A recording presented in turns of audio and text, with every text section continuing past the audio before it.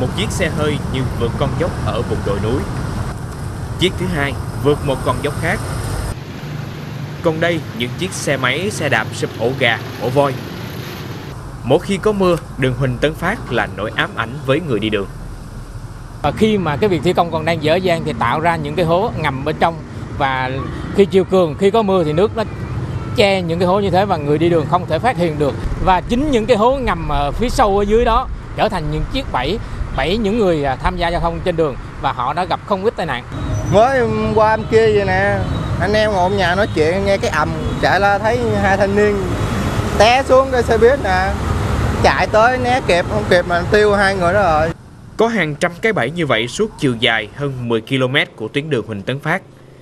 Ban quản lý dự án đầu tư một lý giải, nguyên nhân gây ra tình trạng này là do phải lắp đặt cống từng đoạn và chỉ thả một lớp nhựa tạm rất mỏng cho đến khi hoàn tất cả tuyến mới bê tông kiên cố.